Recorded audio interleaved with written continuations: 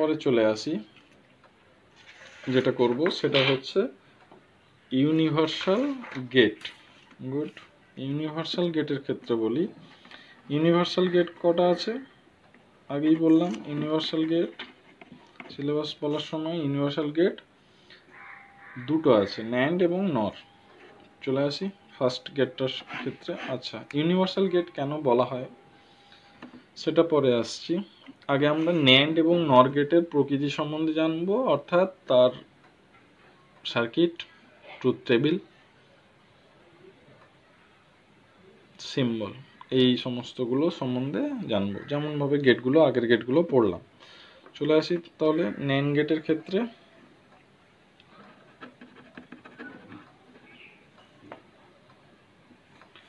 NAND gate NAND গেটের ক্ষেত্রে চলে আসি। ন্যান্ড মানে কথাটার অর্থ হচ্ছে অ্যান্ড প্লাস নট অর্থাৎ অ্যান্ড হওয়ার পরে তার উপরে তার আর একটা কমপ্লিমেন্ট অ্যান্ড হওয়ার পরে তার একটা কমপ্লিমেন্ট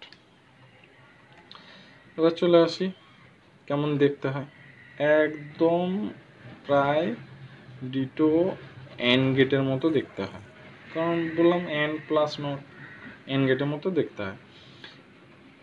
কিন্তু তার সামনে একটা বাবল থাকে। নট যেহেতু থাকে, তাই জন্য খানিকটা এরকম দেখতে হয় ভেতরে। এটা আঁকার দরকার নেই। তোমাদের পরীক্ষার খাতায় এই পোর্শনটা ডট ডট দিয়ে যেটা করা হলো। শুধুমাত্র যেমন দেখতে হয়, আঁকলাম ডি করে তারপরে সামনে গোল। ব্যাস, ওইটুকু আঁকলেই হবে।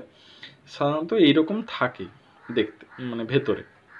এক্স এবং ওয়াই দুটো ইনপুট আউটপুট হচ্ছে এক্স ডট ওয়াই অ্যান্ড হলো অ্যান্ডের উপরে কমপ্লিমেন্ট হোল কমপ্লিমেন্ট সবসময় দেখবে এটা মানে কিন্তু এক্স বার ওয়াই বার নয়। এক্স ডট ওয়াই এর হোল বার কি বলা হয়? এক্স ডট ওয়াই এর হোল বার বা হোল কমপ্লিমেন্ট এটা হচ্ছে ন্যান গেটের তোমার হচ্ছে সার্কিট ট্রুথ টেবিলে চলে আসি। ট্রুথ টেবিল সেই একই রকমভাবে করব। দুটো ইনপুট এক্স এবং ওয়াই আউটপুট কী পেয়েছিলাম? এক্স ডট ওয়াই তার হোল কমপ্লিমেন্ট এটা হলো ন্যান গেটের আউটপুট। এবার চলে আসি, এটা হলো আউটপুট, এটা হলো ইনপুট দুটো এক্স এবং ওয়াই এর দুটো ইনপুট যেহেতু আছে, সেই কারণে কম্বিনেশন নিশ্চয়ই চারটে পাবো বাইনারি নাম্বারের ক্ষেত্রে। Zero zero zero one one zero এবং ওয়ান ওয়ান হ্যাঁ এবার চলে আসি এটা, তে যেটা বলা হয় নাইন গেটের ক্ষেত্রে, যেহেতু অ্যান্ডের উপরে নট অ্যান্ড গেটের ক্ষেত্রে যেটা পেয়েছিলে অ্যাকচুয়ালি ট্রুথ টেবিলটা এটা অ্যান্ড গেট দেখতেই পাচ্ছ এটা অ্যান্ড গেট অ্যান্ড গেটে যে ট্রুথ টেবিলটা হয়েছিল, ঠিক উল্টোটা পাবে। কারণ কমপ্লিমেন্ট অ্যান্ডের কমপ্লিমেন্ট যেহেতু এটাকে তাহলে অ্যান্ডের কমপ্লিমেন্ট বলা যায়। এবার চলে আসি, কীভাবে এই একই রকমভাবে বার করতে পারো তুমি? এক্স ডট ওয়াই এর হোল কমপ্লিমেন্ট এক্সের ভ্যালু জিরো ওয়াই এর ভ্যালু জিরো হলে কি হবে? তাহলে এটার ভ্যালু হবে জিরো ডট জিরো তার হোল কমপ্লিমেন্ট তার মানে জিরো ডট জিরো মানে জিরো তার কমপ্লিমেন্ট তার মানে ওয়ান তার মানে এক্সের ভ্যালু এক্স ডট ওয়াই এর হোল কমপ্লিমেন্টের ভ্যালু ওয়ান পেলে। জিরো জিরো কম্বিনেশনে তাহলে আউটপুট হবে ওয়ান একই রকমভাবে জিরো ওয়ানের ক্ষেত্রে দেখো এক্সের ভ্যালু জিরো ওয়াই এর ভ্যালু জি ওয়ান সরি ওয়ান তাহলে পাবে তুমি কি? এক্স ডট ওয়াই এর হোল কমপ্লিমেন্টে কী পাবে? জিরো ডট ওয়ান তার whole complement zero dot one মানে হচ্ছে জিরো তার কমপ্লিমেন্ট তার মানে ওয়ান একই রকমভাবে ওয়ান পাবে, এটাও দেখবে, করে দেখবে, একই রকমভাবে ওয়ান পাবে। এই ওয়ান ওয়ানের ক্ষেত্রে একমাত্র তুমি জিরো পাবে। ওয়ান ওয়ানের ক্ষেত্রে জিরো পাবে। সেটা দেখাচ্ছে। সেটা দেখিয়ে নিই। সেটা হচ্ছে এক্স ডট ওয়াই এর হোল কমপ্লিমেন্ট এক্সের ভ্যালু কত? ওয়ান ওয়াই এর ভ্যালু ওয়ান তাহলে আচ্ছা তোমাদের যেটা হচ্ছিল যে এক্স ইকুয়াল টু ওয়ান এবং ওয়াই ইকুয়াল টু ওয়ান হলে কীভাবে এটা জিরো আসবে সেটাই বোঝাচ্ছিলাম। সেখানে হচ্ছে এক্স ডট ওয়াই এর হোল কমপ্লিমেন্ট গেটের ক্ষেত্রে এটাই এক্সপ্রেশন তাহলে ওয়ান ডট ওয়ান যেহেতু এক্সের ভ্যালু ওয়ান এবং ওয়াই এর ভ্যালু ওয়ান অতএব ওয়ান ডট ওয়ানের হোল কমপ্লিমেন্ট তাহলে ওয়ান ডট ওয়ান মানে হচ্ছে ওয়ান তার কমপ্লিমেন্ট ইকুয়াল টু জিরো তার মানে জিরো আসে ট্রুথ টেবিল থেকে সেই জেনারেল ইনস্ট্রাকশনটা আমাদের বার করতে হবে। সেই জেনারেল ইনস্ট্রাকশনটা ট্রুথ টেবিল থেকে বার করতে হবে, সেটা কি? এখানে দেখতে পাচ্ছি আমরা যে জিরো জিরো জিরো ওয়ান এবং ওয়ান জিরোর ক্ষেত্রে অলওয়েজ ওয়ান আসছে। কেন আসছে? কিন্তু ওয়ান ওয়ানের ক্ষেত্রে শুধুমাত্র জিরো আসছে। কারণ এটা অ্যান্ড গেটের বিপরীত। অ্যান্ড গেটে যেটা বলা হয়েছিল, ঠিক তার উল্টোটা বলব। অর্থাৎ যদি ইনপুট এর মধ্যে এক বা একাধিক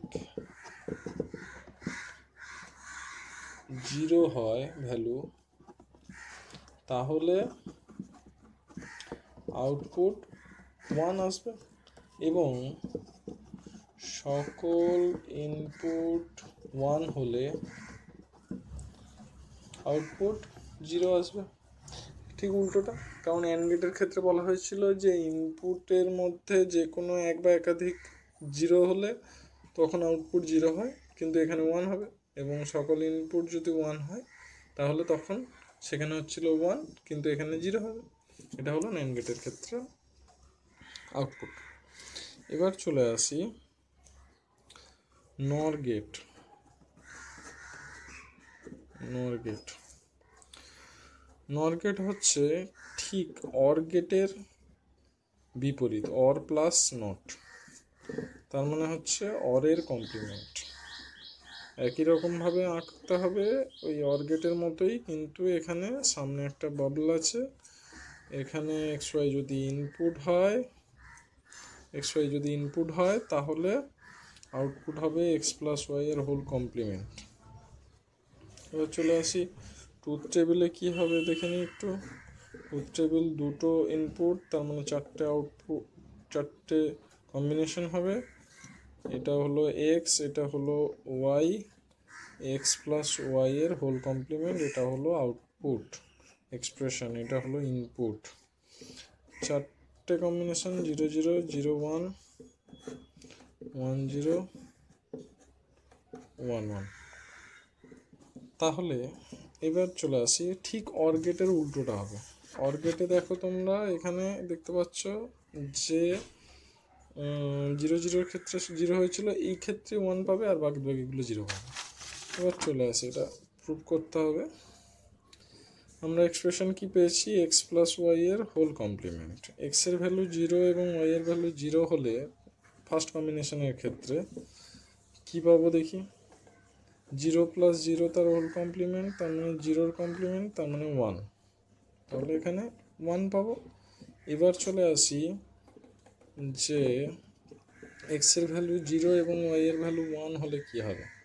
তাহলে কি হবে? জিরো প্লাস ওয়ানের তার কমপ্লিমেন্ট তার মানে হচ্ছে ওয়ানের কমপ্লিমেন্ট তার মানে জিরো জিরো পাবো। এই একই রকমভাবে এটাও জিরো পাবো।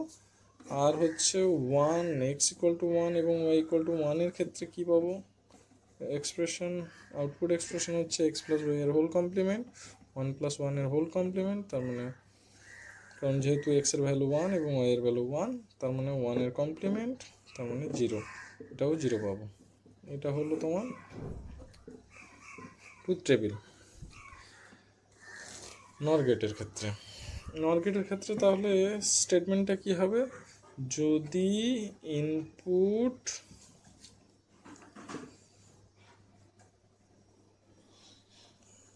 আচ্ছা। অর্গেটের ক্ষেত্রে স্টেটমেন্টটা দেখে নিই তাহলে আরও ভালো বুঝতে পারবে। অর্গেটের ক্ষেত্রে বলেছিলাম যে, কোনো একটি ইনপুট যদি ওয়ান হয়, তাহলে আউটপুট ওয়ান হবে। তাহলে এখানে কি হবে? এখানে চলে আসি অর্গেটের নরগেটের ক্ষেত্রে। কোনো একটি ইনপুট যদি ওয়ান হয়, তাহলে আউটপুট জিরো হবে। যদি কোনো, যদি ইনপুটের মধ্যে এক বা একাধিক ইনপুটের মধ্যে এক বা একাধিক ইনপুট ইকুয়াল টু ওয়ান হয়, তাহলে আউটপুট জিরো হবে এবং জিরো হবে এবং ইনপুট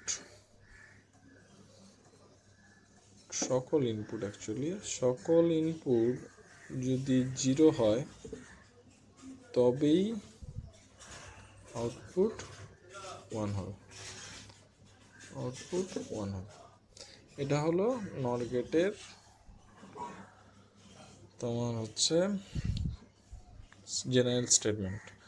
এই পড়লাম ন্যান গেট এবং নর গেট।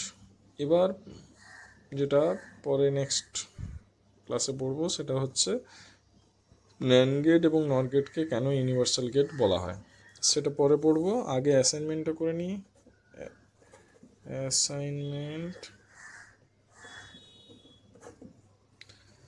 ফার্স্ট হচ্ছে এমন একটি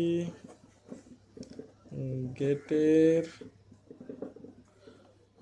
নাম বলো, যার ইনপুট সংখ্যা সর্বদাই